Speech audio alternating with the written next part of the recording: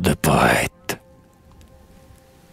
L'enfant agonisait, ses figures d'archange formaient une auréole aux divines pâleurs, et ses petites mains s'écrispaient de douleur, glissant et semblant plus blanches que le linge. Tout à coup souriant en voyant son bel ange, Maman, murmura-t-il, je t'enverrai des fleurs. Puis l'enfant s'envola bien loin de notre fange.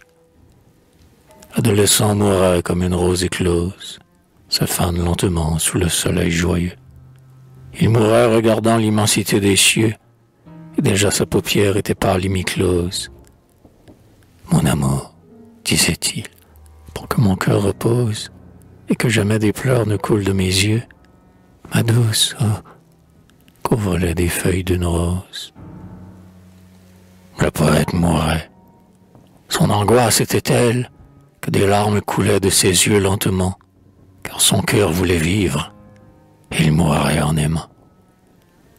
Sa maîtresse, entendant venir l'heure éternelle, lui dit Sur ton beau front que vis-tu, cher amant?